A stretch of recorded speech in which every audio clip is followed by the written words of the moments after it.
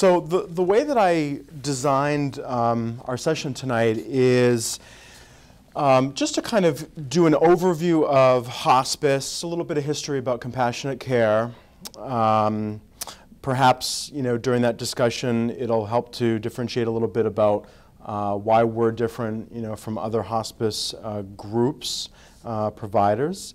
Um, so we'll talk about a little bit about our company as, as a whole, and then we'll talk about um, the volunteer piece as well, um, which is um, how everyday people can become involved in um, hospice services.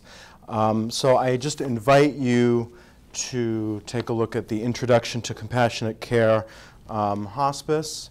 And uh, just to introduce myself uh, from the beginning, uh, my name is Michael Freilich. I am a, a volunteer coordinator with Compassionate Care Hospice um, out of Taunton, Massachusetts. Um, so my role is to go into the communities and um, educate about hospice care, um, and then share with uh, community members how they can become a part of our group and how they can give back uh, to our patients and their families. It's a really uh, beautiful program.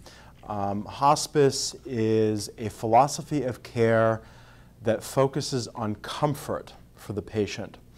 So when we kind of take a look at the medical community, we kind of see these two groups. We see curative, where we are trying to attack an illness, a condition. We're trying to rid a person of that. We want um, the, the, patient and their family have made a conscious decision to, um, to go after a cure. On the other side of the coin, people have the option of pursuing comfort care. And what that means in terms of hospice is that we have um, an interdisciplinary team, which we're going to speak about a little bit more later in this program. Um, and the interdisciplinary team helps to recognize the various domains of an individual. So what does that mean? Um, comfort, the physical elements of comfort, the emotional elements of comfort, the psychosocial elements of comfort, the spiritual elements of comfort. Um, these are all uh, pieces of what make us human beings. Um, so it's important that at the end of life, when a person, uh, when an individual comes on hospice services, that there are staff that are specifically trained to provide um, support in these domains. Um, so let's talk a little bit about um, Compassionate Care Hospice and who we are as a group. Uh, Compassionate Care Hospice, it's a special kind of care, a comprehensive program designed to support patients and their families during a difficult time.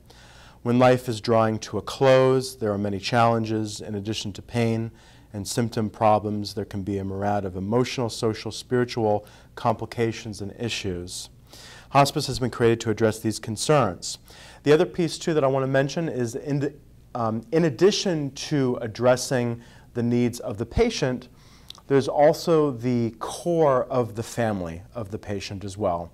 So it's important for the hospice personnel to get a sense of who, A, who is the patient, and what, are their, what is their condition, what are their needs, and then what are the needs of the family, what are the dynamics of the family.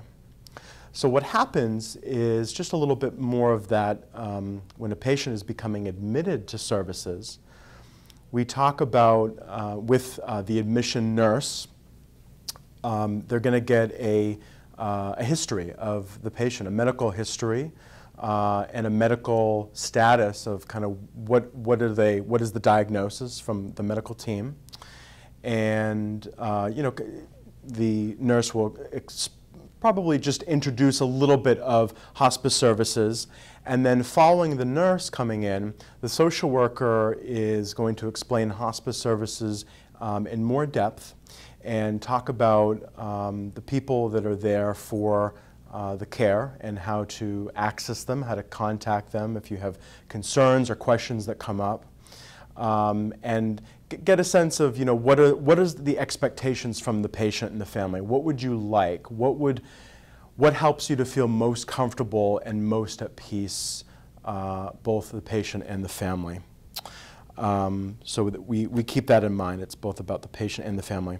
To help keep patients comfortable, alert, and able to participate in life as fully as possible. This is another feature of hospice.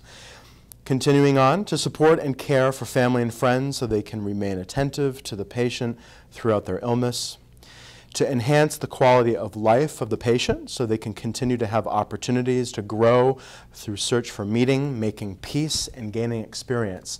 And I brought a little uh, collage, and we're going to speak about that a little bit afterwards in, the, uh, in, the, in our program this evening um, that volunteers can participate in with uh, the patient. So we'll, we'll come to that today as well.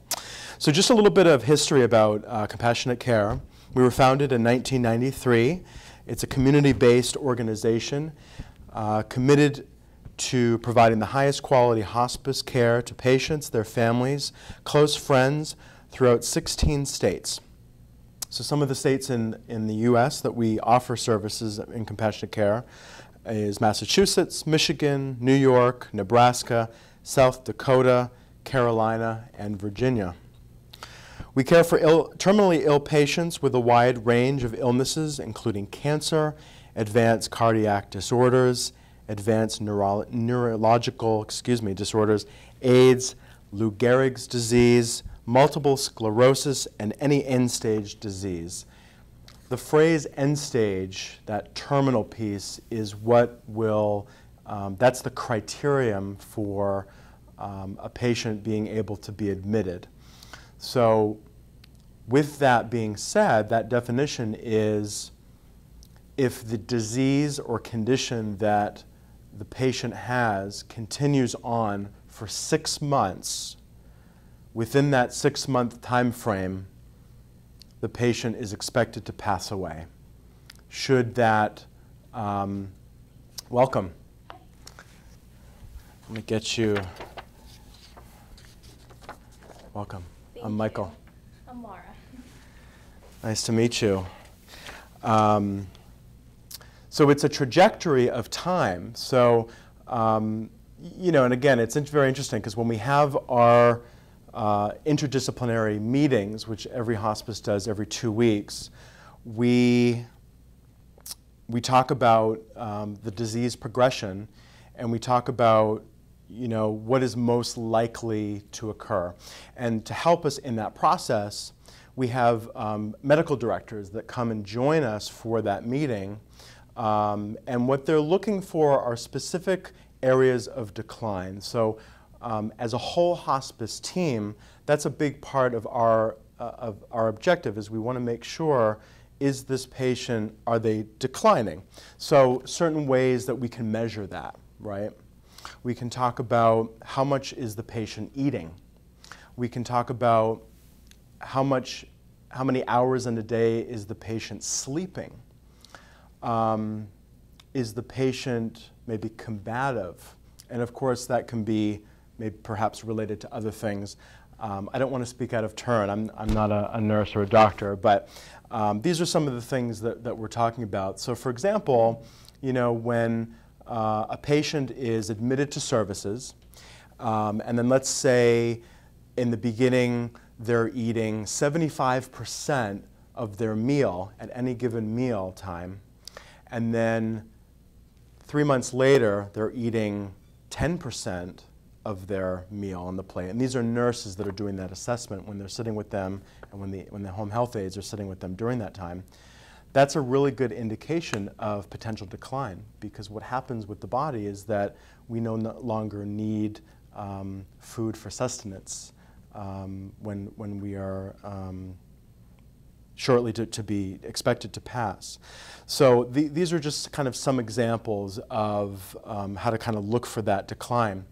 What's very interesting is that the medical director during those IDT meetings can, um, they can decide either way. They could say, yep, this patient sounds good for hospice services. They qualify. So we use that word qualify.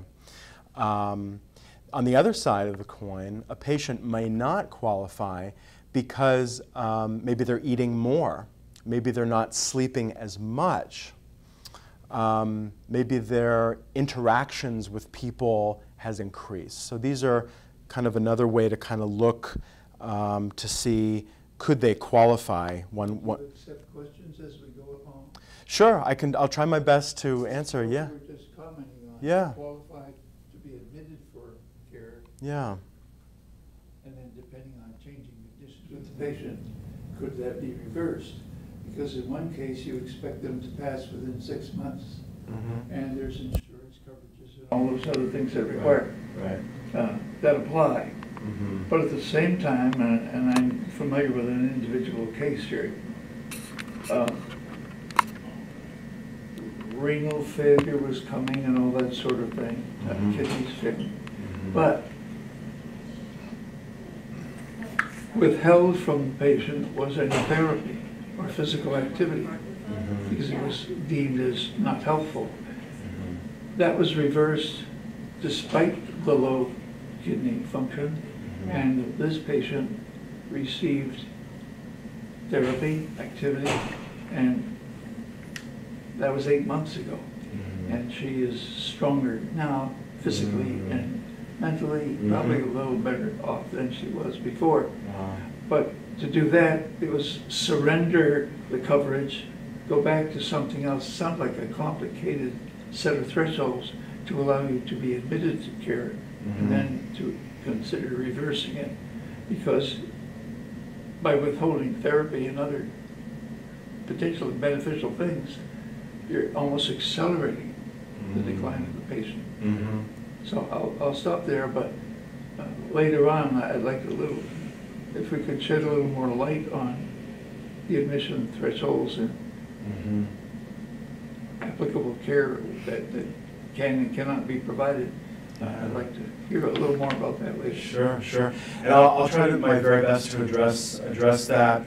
Um, the, the other piece too, I just wanted to share is that if, if there are questions um, tonight, and if I don't feel like I can provide a, a good response, or at least if I feel like another of one of my colleagues could provide a better, more informative response, I'm certainly happy to you know take your contact info um, and we can be in touch with you because I don't want those questions to linger. Um, and I, I, I love your your um, your discussion. Um, so. Um, yeah, I, th- I think I think what happens is the the idea is that we're going to provide the the hospice frame is going to provide services that best are providing care and comfort to the patient, um, and the natural. Because I think one of the things that you said is that it sounded like taking away something that could have been beneficial for that person i- is what is, is, that, is that what something that happened right um, yeah. Um, so and it, it is going to be you know case by case um, you know scenario as well in terms of what what what do the team feel is best. And there's a lot of conversations between uh, the, the clinicians of, of a hospice group um, and, the, and the medical directors as well.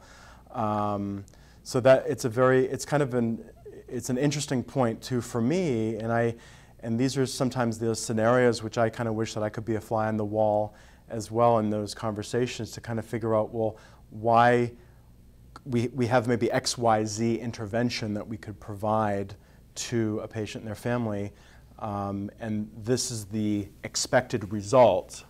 Um, and if it's positive, we probably would want to provide it. Um, and more specifically, positive in the sense that it's providing comfort to the patient and comfort to, uh, comfort to the family.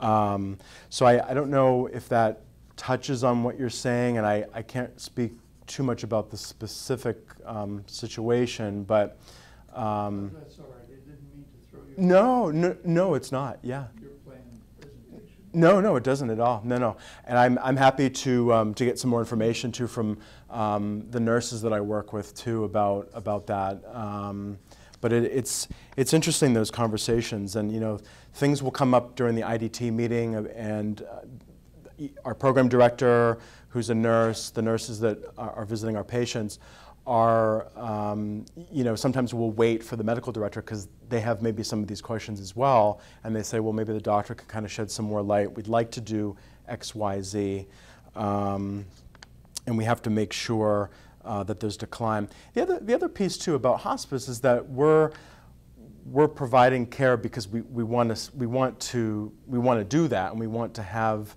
uh, the means to do so. So if if we're if we're doing things that, um, I mean, we, we will see patients, quote unquote, graduate from services because maybe they're getting better. We see them eating more, sleeping less, interacting more so. Um, so we, will see, we'll see that, and then we also see patients that are declining. Um, but at the end of the day, we have to provide services that are uh, of care and comfort nature to both patient and the family.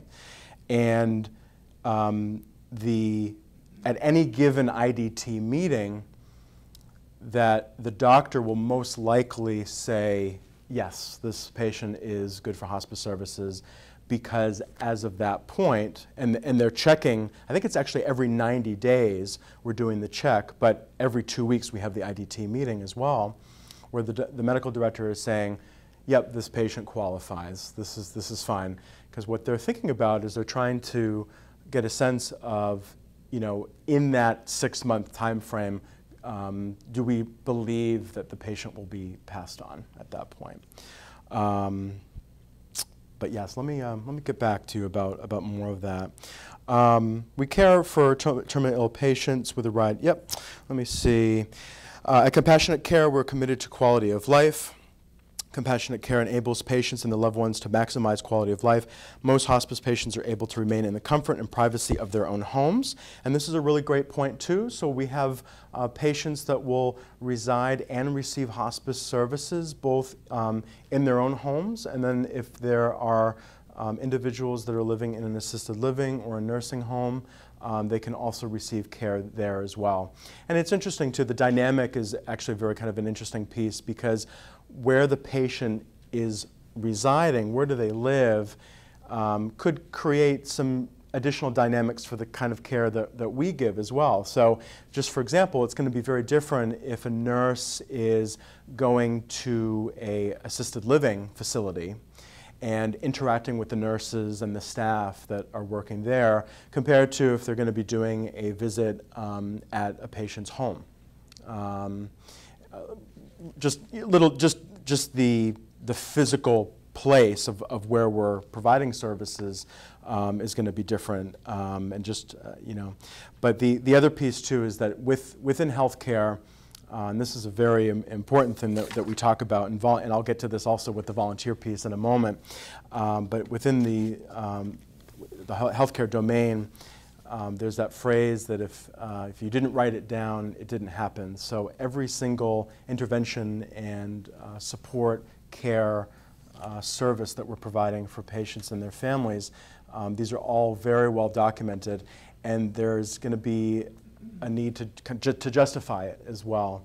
Um, and Medicare oversees that process, and they'll go to um, hospice groups to make sure that uh, they do audits uh, it's, it's called an, an audit, and um, they make sure that the hospice is delivering uh, care to, to our clients the way that we need to be. Um, so a little bit just about the, the, philosophy of care, and this is kind of a kind of an exciting uh, piece, I think, for for a lot of people, especially for people that are working within hospice, because it really is a philosophy of service that we talk about. Um, so I remember I was starting a little bit earlier uh, this evening. Um, you know, when we kind of look at the uh, the medical community, we have like these kind of two groups. We have a curative uh, path, and then we also have a uh, palliative care path. So curative, we kind of dif we differentiate between the two by saying curative is going after the illness, the condition, trying to cure that person of, of what they have, right? And then on the other side is palliative care, which is comfort. So a patient and their family, they're making a very conscious decision of, you know, what do we want to do? Do we want to just make sure that uh, mom or dad is, is comfortable? Or do we want to do all kinds of um, interventions uh, that you know, and this might kind of help the families to decide if they want to do it. Some, sometimes interventions could be just so invasive. Um, you know, just from conversations that I've had, just kind of as, a, as an example, um, people that have animals that are maybe an older dog and maybe an animal or a cat is, you know, feeling um, ill or they feel like, you know, we don't really know how long we're going to have this animal. And similar with, um, with a person is, what do we want to do with X amount of months or years that our loved one has left? Do we want to do intensive, uh, potentially invasive treatment, or do we want to make sure that they're comfortable in all those domains of, of their life? Um, so it's, and it's hard. It's not an easy process. And I think that's another big piece too. I'm, i would imagine that social workers at our hospice group have probably had these conversations with families that where they say, you know, what would you like to do? And even within our IDT meetings that we have every couple of weeks, um, the doctor or the nurses there will kind of say, well, you know, the family wants to do X, Y, Z, but that's, that's leaning into the curative, um, the curative uh, realm of, of medical treatment. Um, we have to make sure that families are wanting um, comfort, care and comfort, palliative care. May I offer a thought here? Yeah, please. Clearly at this juncture, what the patient wants and yeah. he or she wants is very important. Absolutely. Thank you for saying that. Too yes. many interventions could backfire and create all kinds of agony. Yes. Absolutely. Yeah, okay, yeah, thanks. Absolutely. Thank you for that. Yeah, and, and we're going to, and that's a really kind of a nice, um, uh, segue. And just in a couple minutes, I'm going to go. I want to make sure I keep a, a little eye on time because I want to talk about the, the volunteer program too. Um, but, but I'm so happy that you mentioned that because on the back, let's actually maybe talk about this now since uh, uh, this gentleman uh, brought that up uh, very nicely, is that uh, we can see on this little wheel here, it gives us a nice visual of who is at the center of care, and I think that's kind of what your comment is, is, uh, is, is going for. So it's the terminally ill patient is, is in the center of care. So we have the terminally ill patient here. The family and friends, those are the people that are caring, loving, supporting the patient, right? And the, the, the people that are providing hospice services are around that. So the nucleus is about the patient and the family. And then the physician, the social worker, chaplain, bereavement coordinator, volunteer coordinator, the home health aides, the nurses, the medical director, pharmacists when needed, speech, physical, occupational therapists, dietitians perhaps. Um, these are all the people. But notice how the, the nucleus, the, where this wheel gets its energy and why it's able to rotate is because of the patients. If we don't have patients, we, are not providing those services. So I think maybe now let's just take a little look at that and just kind of um, understand what, what does each discipline do um, specifically. Um, so let's start with, um, let me just go see the registered nurse. I'm going to maybe start with the nurse because it's very heavy on nursing, um, of course, as a palliative uh, care uh, provider. Um, they manage the patient's care. They stay within contact with the doctors, patients, families. They're doing the documentation. They're talking with um, the members of the IDT team, which is um, everybody else in the third uh, circle in the middle. Um, you know, they're, they're speaking with the family. They're getting feedback. Um, just for example, let's say that a nurse is having a conversation with um, a, a, son or a daughter. You know, there could be a family where there are a few children of, of the patient that we have. And that can be sometimes challenging. So perhaps um, what that nurse might do is go to the social worker. She'll definitely speak with the group at our meeting. Um, but my guess is that she's also going to the social worker and explaining that um, you know, we have a family, kind of a dynamic right now. Um, one child wants one thing, someone who wants something else And it doesn't even necessarily have to be that. Maybe there's just some misunderstandings or just it's just a very emotional time for everybody, both the patient, the family, the people that love them and care about them. Um, so that's, that's kind of the beauty of the IDT format of hospice is that um, all these domains of our life, um, our physical domain, our emotional domain, our psychosocial domain, our spiritual domain, we can, we can reach out and we can get support that way through hospice care. Um, the hospice aide will go down uh, towards the, the, right here, going down to the middle. Hospice aide attends daily functions, cleansing, bathing, changing of clothes, helping with meals and general patient care. So they're doing what we call um, ADLs, which is activities of daily living uh, with the patients. Uh, the volunteer coordinator, so that's my uh, role within hospice. Um, so what, what I do, I don't actually need the paper for this, um, I hope not. Um, so I go out into the community and I recruit volunteers. Um, I educate uh, the public the best that I can about um, hospice care um, and how you know every everyday people can can become involved in in hospice through the volunteer program. And we're definitely going to speak on that as well tonight. I'm very excited about that. Um, our bereavement coordinator is another very important member of the IDT uh, team. Prior to the time of death, uh, the, the, bereavement coordinator assesses needs uh, that the family may have after the loss of their loved one, may include follow-up visits, referring family members to counseling, so they can do referrals into the community, they can get other support, um, excuse me, other support devices for the patient and for the family uh, to feel uh, well looked out, well cared for and, and looked out for, um, in addition to the services that, that we're um, providing for them. Uh, the chaplain is next on the right hand side of the wheel, and they're providing um, spiritual support and spiritual counseling. Uh, they can also provide uh, community resources if families are looking for them.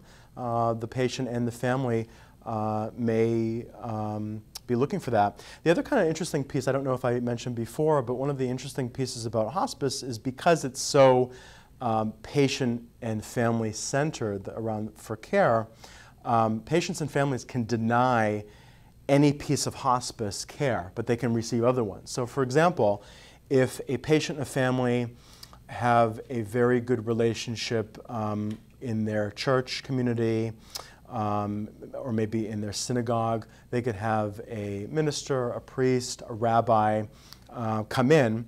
And I think actually that's something that our chaplain will um, check in about to see. And sometimes the family will just say, no, I'm going to decline chaplain services at this time. Um, because um, we already have a resource that's going to achieve that, that goal. Um, that's something, another kind of point too to make is, is that something sometimes I will see um, just in terms of that volunteer piece. A patient family, they do not have to accept a volunteer. Um, it's there um, to, to, to have as, as part of their service. Um, but I have, it, it really is kind of like 50-50, you know, maybe out of, uh, you know, 20 patients, maybe 8, 10 will want to have uh, a volunteer come in.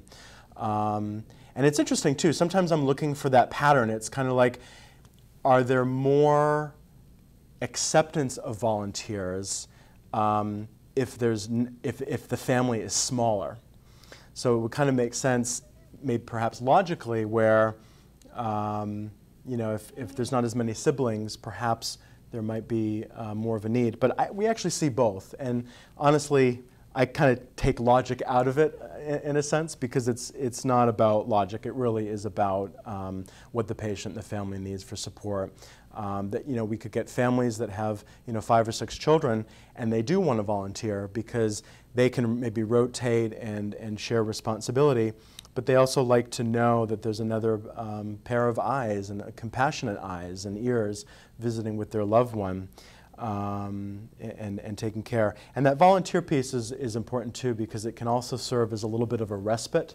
And you know that that requires some pretty good logistics. It's not. I mean, I would love to be able to just say, um, you know, yep, one o'clock on Thursday afternoon. I've got a great volunteer that can drive to Plymouth, and we're going to sit with dad for two and a half hours, you know, and, and, you know, that's my goal, and that's a big part of why I'm doing this, this work. Um, so that's, that's a big part of, you know, why I go out into the communities, why I recruit uh, why I educate about hospice and uh, the volunteer program um, is to build up that volunteer pool so that we have that volunteer power to go out and say, yes, I can sit with, uh, with this patient and uh, support them and their family. Uh, the social worker, they assess psychosocial needs and supports patient and family through counseling, social services, uh, support, and community resources. Um, so they're also um, they also do an admission. Um, I think actually all the all the clinical um, staff. So the clinical staff um, is the uh, the nurses, the, uh, the physician, the social worker, the chaplain, the, uh, the bereavement coordinator, they can reach out to, um, to, the, to the family um, upon admission and figure out, you know, what it is that they, that they, what are their expectations, what are going to help them the most. Um, and the social worker will explain, you know, more about hospice and make sure that, you know, this ho the hospice um, philosophy of care is what they're looking for and they're not in fact seeking curative treatment. Uh, the attending physician refers patient to hospice care and works with the team to develop and follow a personalized plan of psychological, emotional, and spiritual care. And then we also have, um, at our office, we have two medical directors, and they alternate between one IDT meeting and another. Um, and they, you know, we, we speak about every single patient that we have on service and um, they give their feedback about whether they feel comfortable. Can, can the patient um, stay on, or will they be, uh, will they be discharged? Uh, the speech, yes, sir. Yes. Attending physician, does that usually uh, refer to the person's personal care physician? Yeah, that's, that's my, I think it's a bit of a, a combination. Right, yeah, the attending physician, yep. So, so the patients will usually have um, their own physician as well, and they're going to be um, communicating with um, our team as well and, and um, our medical director. Um, yeah, for care. Great, great distinction, yeah. Um, the speech, physical, and occupational therapist and dietitian, they work with the needs of the patient in physical or dietary ways to help them and their family manage quality of life issues with relation to communication, movement, daily tasks, and eating. The pharmacist provides, uh, furnishes, and supplies pharmaceuticals for palliative and symptom management. So again, it's about, it's about comfort care. So we're not, you know, saying here we're going to prescribe you uh, this and then that's going to cure you. It's to, to be comfortable. Um, so if they have uh, pain in their leg, um, if they're experiencing constipation, um, if there's restlessness, if there's agitation, there's various things that, um, that the nurses can prescribe um, and then get, a, get an order for, uh, for that patient to make sure that they're comfortable and they're not, they're not suffering. Um, great. Let me let me just take a look. We can kind of jump around. You you are all welcome to keep these um, these packets for yourself. Um, feel free. I mean, I have I made plenty uh, for tonight. Um, you're, you're, welcome to bring um, more home if you have friends or family that you'd like to you know, provide a little bit of literature to. Um, you know, that speaks about hospice, if, if there might be people that might be interested in, in becoming involved. Um, so it's just about five after seven. Um, so a little bit of history of hospice. Uh, the word hospice comes from the Latin word for host. So this is on page 12. I'm sorry, I didn't mention that. Page 12 of that um, introduction packet. In the Middle Ages, it was used to describe a resting place for weary travelers. These medieval way stations gradually evolve over the centuries into special nursing facilities for the dying. Sisters of Charity in Dublin, Ireland operated the very first of these groups.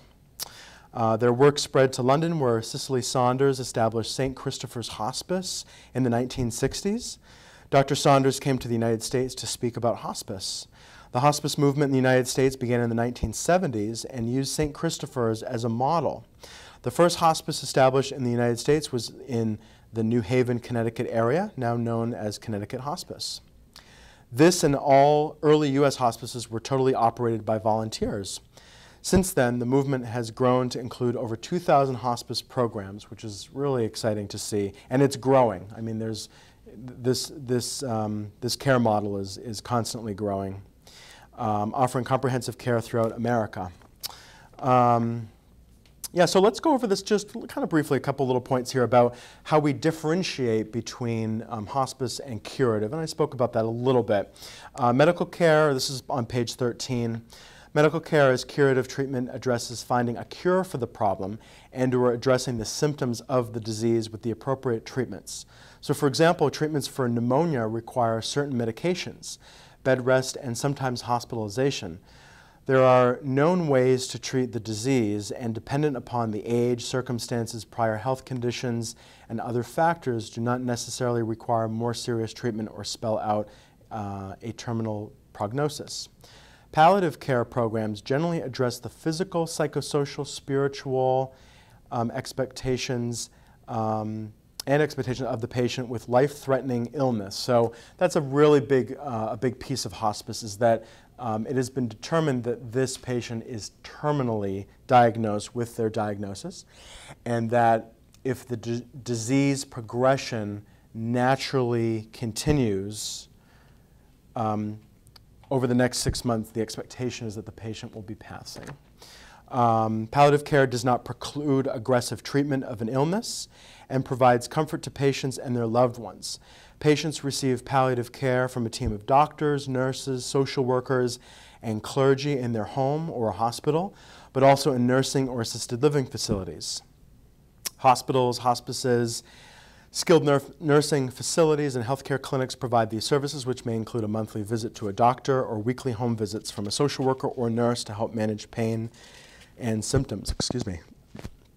Um, the goal of hospice care is to keep pain and suffering of a person with a terminal diagnosis to a minimum and not to cure the illness. So we're not doing any curative, we're just providing comfort services.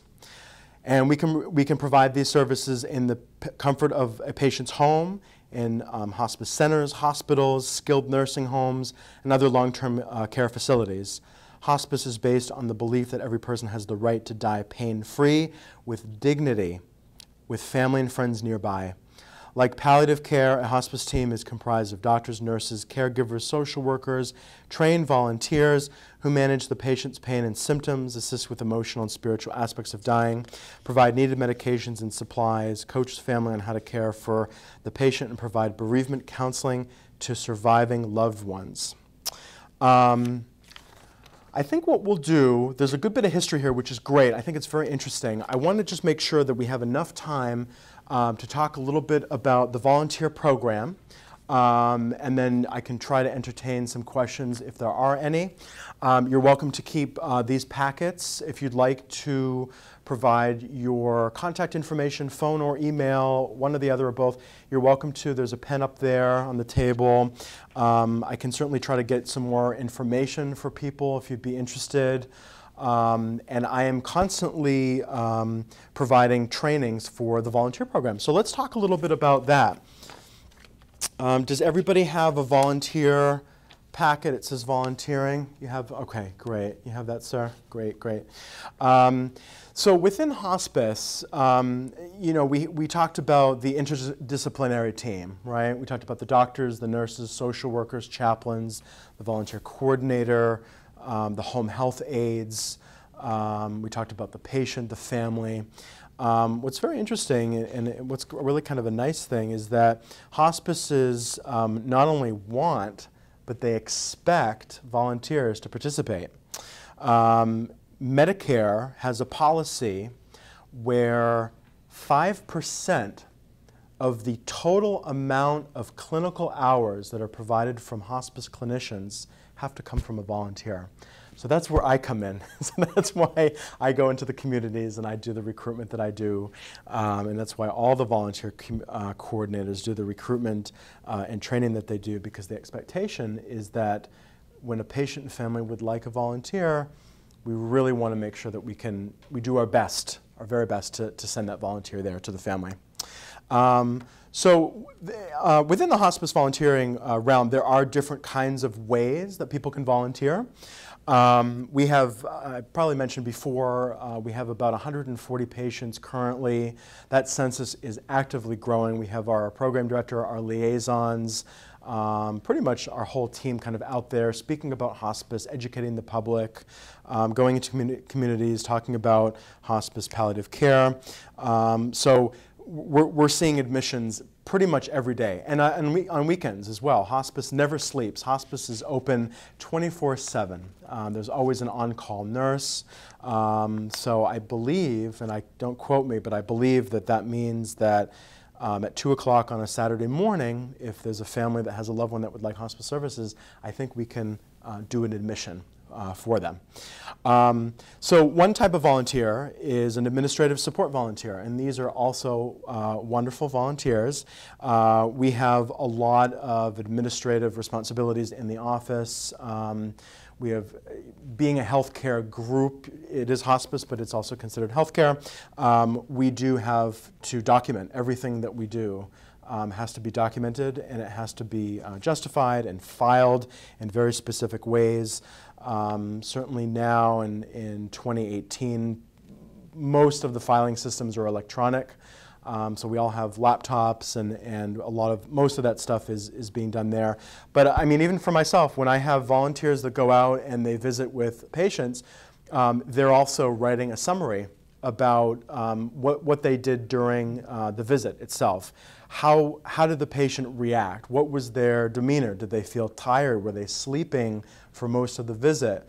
Um, were they interactive? Were they making eye contact? Were they laughing? I had this incredible supervised visit with a new volunteer uh, a week ago. And this volunteer, so I, so we do the training in the office, or, or actually wherever. I mean, I can, I can meet a new potential volunteer where it works uh, for you. Uh, but this volunteer came to the office. We did, it was about four sessions, about two hours apiece. We talked about the philosophy, um, and then how to provide uh, volunteer care interventions for patients and how to help them feel comfortable.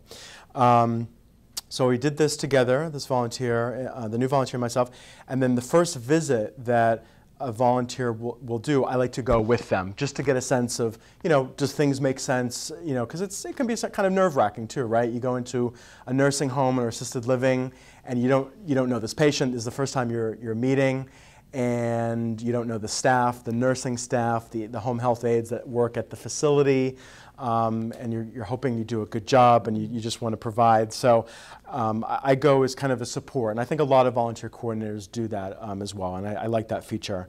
Um, and during that visit, it was, it was totally incredible because what this patient was doing was whole, she did not let go of the hand of the new volunteer. We were there, we did a 45 minute uh, visit with this patient, and the, the, the, patient was, was staring into her eyes and you know, massaging um, the volunteer's hair, laughing. It was a really amazing thing to see.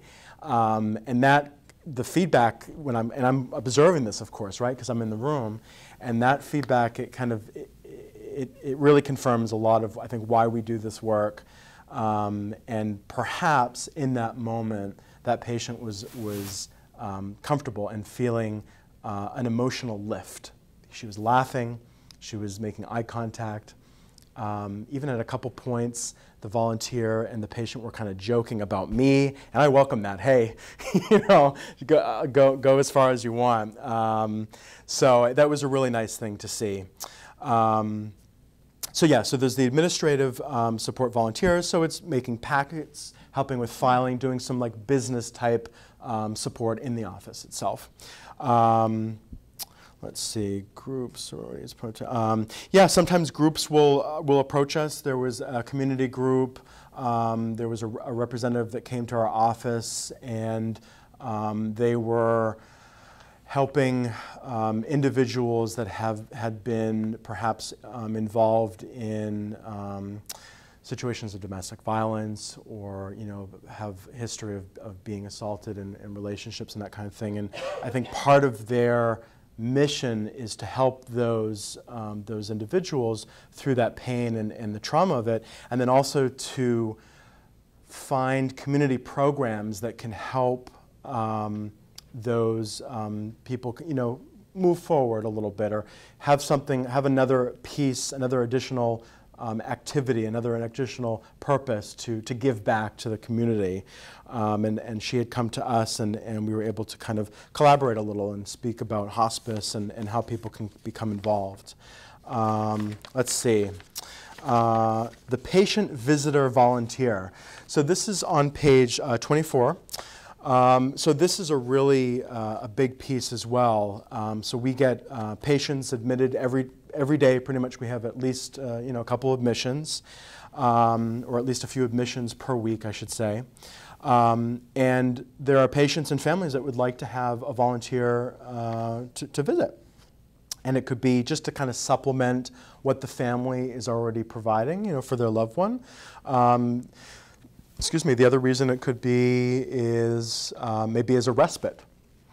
So maybe uh, the children of the, their loved one on service might like to just take some time off, have coffee, go out to lunch, and then you know to kind of know that um, that we have this this volunteer that's been trained, um, that understands you know how to sit with a patient um, in peace, in quiet, or interacting. It's it really is about um, being where the patient is at.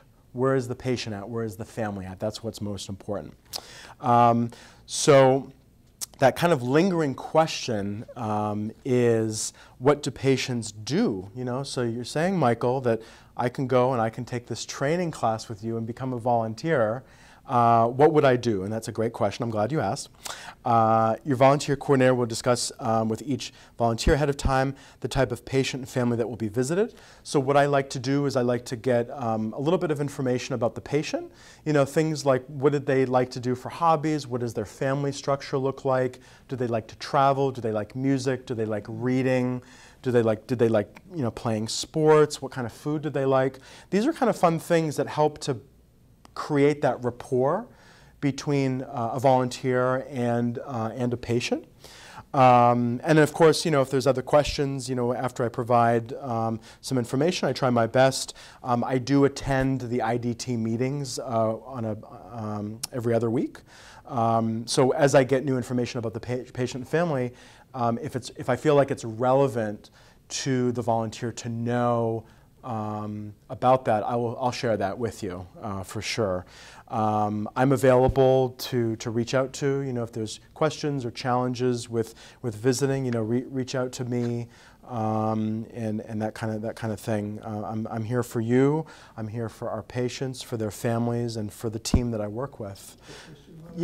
yeah there security background checks on volunteers? Yes, yes, I'm glad you brought that up. So that's one of the features that um, for volunteers to start, that they would have to pass a CORI uh, a CORI background check, and then uh, so we, we collect that information um, upon um, your application. I actually did bring some applications tonight if, uh, if anybody is interested in, in, that. You don't necessarily have to fill it out here. You can take it home if you'd like and think about it. Um, but I believe that's part of that packet um, up there as well, um, and just some information um, so we can process the background check. Yes, absolutely. So, you know, as a direct care volunteer, you know, well, what are, what are we going to do with them? So we have volunteers that will go and, and sit with them. You know, let's say that you have a patient that is um, sleeping.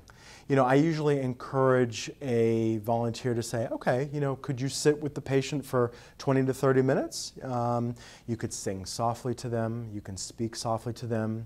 You can do a light, very gentle touch and what's really special about these little interventions is, is it might seem so small and like, well, you know, what, what does that do? But it really does a lot because it lets the patient know that they're not alone. When, when somebody is at the end of life, a big part of the fear is dying alone and that nobody is maybe quote unquote ushering them, so to speak. And it's just very comforting to have that person sit with them. And we don't even have to talk, we don't have to sing, we can just sit there um, and be a supportive presence. Um, sometimes you might have a patient that's very interactive, like uh, the patient that I sat with, uh, the new volunteer, a week ago. Uh, and they're laughing and they're, and they're joking around with you and they're smiling and they're looking at you. Um, this is another really kind of a fun thing as well that you can do. This is a memory board, and I think you know typically we do these with our patients that are uh, dementia Alzheimer's f- as a diagnosis. But you know honestly, if a family you know says, "Hey, I'd love to make a memory board uh, for mom," you know, could could a volunteer do that? You know, and, and you know, I might request some pictures from the family members. I, I might say, you know, if you have some pictures that you'd like to uh, lend us, you know, I can make sure the volunteer gets them. Um, and a volunteer, use a volunteer could make a board like this with a patient. You could sit with them at the bedside. You could cut um, colors of paper. Um, and what's really beautiful, I can pass this around too. What's really beautiful about this is that it helps to kind of explain and it, represents the life of this patient. You know, um, there's there's going to be a lot of people that are maybe you know coming into a room of a patient, and it's really nice. I mean, in general, we we when we work for hospice, we recognize, and a lot of people recognize already that these are human beings. You know, um, and it's a nice representation or a nice reminder that these are human beings. They have uh, they, they have loved, they do love, they have interest, they have passion, they have excitement, they, they have purpose. They've defined a life for themselves, whether they're 55 or 95 on service. It really doesn't matter. Um, they're a human being, and this is a really kind of a fun way to celebrate their life and to affirm their life and um, gives them that peace and that, that dignity. I think that really kind of combines, uh, combines into that. Um, May I ask Yes, sir. question? yeah. You introduced the group that you work with. Yes. Are there other hospice groups and are you in competition with them in some way? That's a bit, yeah, and that's a great, that's a great question. So there, um, I think, I think it said something like 2,000 hospice groups within the United States alone. Um, and, and it really is. We, we are, there's a competitive nature to hospice organizations. Compassionate Care Hospice is number three in, um, I want to say it's number three in Massachusetts. Or number three, um, I want to make sure that I get, Immediate area if I want to yeah. A Hospice group, you're one of the possibilities, but there may be others as well. There may be others as well. Um, you know, one of the things that we, you know, pride ourselves on at Compassionate Care is our very quick response to patients and family needs. So we can, we can receive a, a phone call at two o'clock in the morning. Sure, it might take a little bit of time for the nurse to, you know, or the, the social worker to get dressed and then drive over to, the, to see the patient. But that's a really big piece of why, um, you know, people, people reach out to us. And it's, it's, they, I think they can see our investment and our compassion uh, and our genuineness and just that desire to deliver those um, high quality uh, care services. Um, so I think that's a really big reason why, um, why we're, we're, we're on the top of the list. Um, I, I remember recently there was uh, another, we had a patient that was actually at a different hospice, and they actually did transfer over to us. Actually, it's interesting that you bring that up because um, this happened. Um, this was last week, early last week. I had heard a conversation between our clinical directors that um, it was a different hospice group, and then they said, "No, we want compassionate care." Um, we have a, a very big, um, per discipline, we have a very large staff. So we have um, several social workers, we have several chaplains, we have a big, big group of nurses, um, we have a program director, we have a group of liaisons that also go out into the community. They build those relationships with facilities, nursing homes, assisted livings, they educate about hospice. Um, and, I, and there's just been this really great response to the work that we've been doing um, and, just, and just our commitment to service. I think it really comes down to commitment to service and um, being able to make those adjustments. And yeah. I'm glad to see that hospice care is uh, growing and maturing in the Yeah. country. And uh, having read a lot about the Dr. Atul Gawande, who wrote Being Mortal, Mm-hmm. where his focus is on care and love and people. Yeah. Uh, And all that's going on right now with a lot of uh, very wealthy people trying to enlist his expertise to help make this really good. Mm-hmm. I said, that's great, I'm glad it's happening now. If in a specific case, if I needed to have my wife put into hospice care, or conversely, Yeah. she needed Yes. me, Yeah. uh, where do I find that entry point? Do I start with my own primary care physician and ask for referrals? You, I think that's an option. I think you can. Um, I think having that conversation with the doctor, with your primary physician, is is of the utmost importance. Um, and then um, the doctor uh, and or your family can reach out directly to the hospice. So that that actually happens. Um, you know, with us, so we we get phone calls in the office.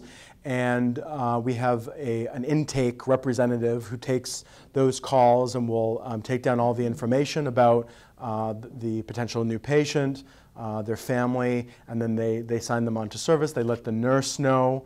Um, the directors will, will get a sense, and then they send a nurse to do the actual admission itself.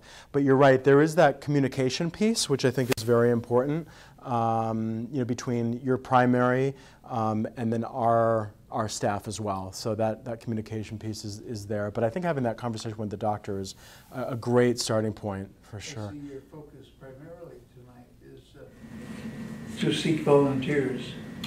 It's, it's been a little bit of both. I've been trying to, the, the goal of tonight's um, session, I don't know if I achieved it or, or not, um, was to provide uh, an educational piece about hospice, it's kind of more of like an introduction about what services are, what does hospice mean, um, how to kind of differentiate it from uh, the curative model, um, and then also um, how people can become involved through the volunteer uh, program itself. And my, that is my role with hospice. I'm, I'm a volunteer coordinator, so that's a big part of, of what I do is, is the recruitment. But I, even before I get to that point of, of saying to people, oh, hi, nice to meet you, would you like to volunteer? I think it's important also just to let people know, like, well, what is hospice and what, what would I be doing and uh, why, why should I volunteer? And I, you know, I try my best to answer those questions, but um, I welcome the overview and I thank you for doing that. oh, thank you, sir. I don't know that neither, either my wife nor I are